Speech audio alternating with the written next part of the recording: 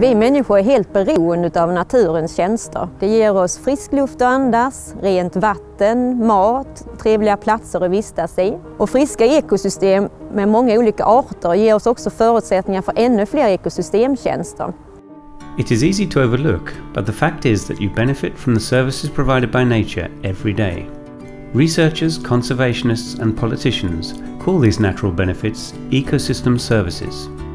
Provisioning ecosystem services are things like cereals, meat from grazing animals, fish, drinking water, timber, and biofuels. Regulating services include the wetlands of Kristianstad Vattenrike that purify the air and water and help protect against flooding, or the insects that pollinate our crops. Kristianstad Vattenrike provides many ways to enjoy the natural surroundings. Outdoor recreation is good for our health and attracts a large number of visitors to Kristianstad. We call these benefits cultural ecosystem services.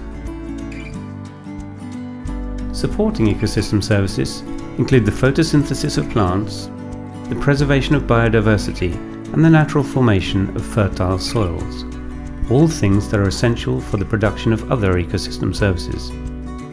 Och just i Kristianstad är systemtjänster viktigt på väldigt många sätt, men vi har ett väldigt utsatt läge här. Vi ligger ju under havsnivån.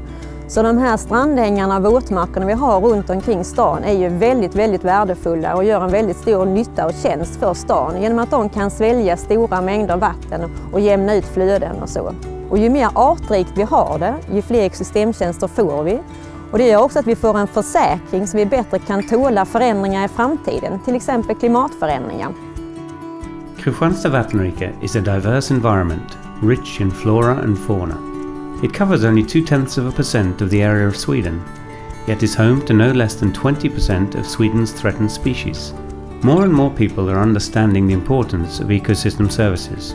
Thanks to projects like the UN's Millennium Ecosystem Assessment around 10 years ago, thousands of researchers in almost 100 countries took part, and Kristianstad Vattenrike was chosen as one of the examples of success.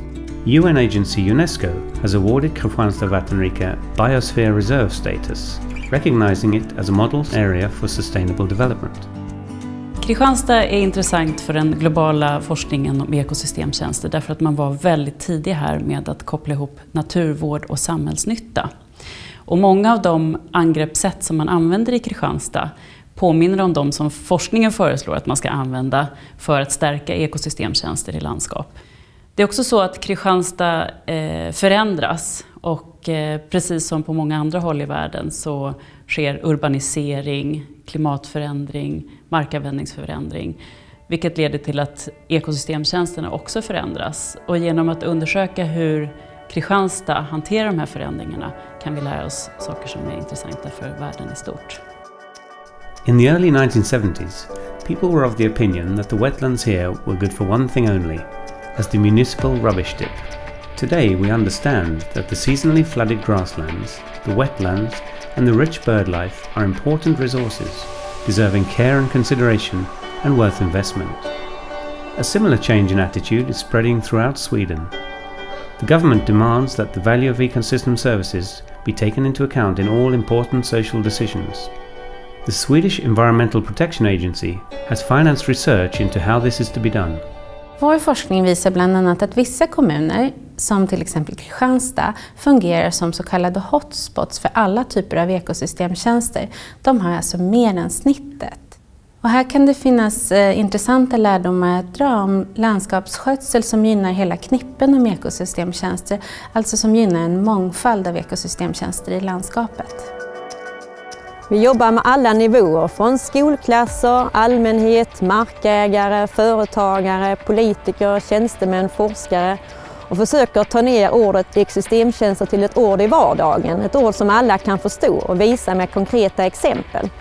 Och vi har då i vår verksamhet och verksamhetsplan och i Naturens program så har vi nu extra mycket fokus på artrikedom och ekosystemtjänster. Till exempel så har vi uppfört ett eh, bihotell i Naturums närområde och anlagt en mångfaldsstig där vi har eh, artiga vandringar. Och de är artiga därför att vi lär oss om arter. De är också artiga därför att vi är tacksamma för det som naturen ger oss. Kristianstad Vattenrike contains many more examples of how we can take care of our ecosystem services so they continue to benefit our children and our children's children. New wetlands reduce the risk of flooding, purify the water, and create new natural environments that are rich in species. Grazing animals and conservationists who remove lichens and uproot pine saplings play a role in keeping the landscape open so that many species can live and flourish in these habitats. Farmers help pollinating bumblebees and other useful insects by leaving field margins and creating raised strips filled with flowers in the fields. These are also home to the natural enemies of certain pests, such as ground beetles that feed on aphids.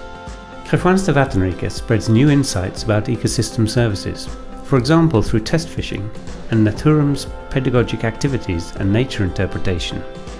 And at Kristianstad University, researchers are investigating ways in which the entire municipality can become even better in its work with ecosystem services. Det eh, projektet visar eh, väldigt tydligt är att det finns eh, en väldigt i eh, kommunerna till det här begreppet ekosystemtjänst och att börja använda det. Eh, man tror att det ska kunna leda till att man bättre kan ta in eh, naturens värden i planering och i beslutsunderlag. Together, the varied nature of Kristianstad Vattenrike, the impressive diversity of species, and the numerous ecosystem services are a fantastic asset for Kristianstad. Jag märker en ökad kunskap och ett eh, större intresse för ekosystemtjänster. Till exempel så kan man se nu i Kristianstad kommuns nya strategiska färdplan som hur vi ska då jobba i kommunen fram till 2020. Där ett av de här huvudmålen är friska ekosystem med det strategiska målet eh, en rik natur och starka ekosystemtjänster. Och det är ju jätteroligt och fantastiskt att man kan få in det så. Och det är även med i kommunens styrkort. Och på lite längre sikt så hoppas jag att folk ska förstå hur livsavgörande ekosystemtjänster är för oss människor. För att vi bevarar och utvecklar dessa naturens nyttor, det är en förutsättning för att vi ska kunna få en hållbar samhällsutveckling. En utveckling som är bra både för natur och människa.